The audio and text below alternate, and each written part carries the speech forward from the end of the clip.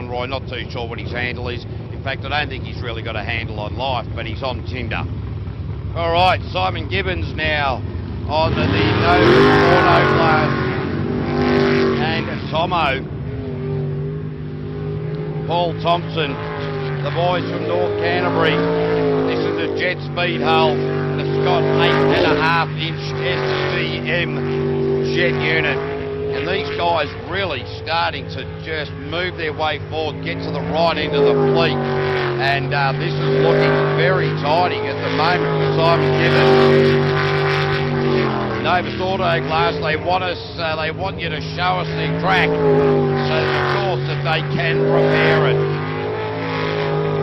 Wow, this looks to be a very tidy run. The split wasn't too bad there from Simon Gibbon either. Really starting to hot this up now in the run for the line. He's going to go sub 50, there's no doubt about that, and a 49.078.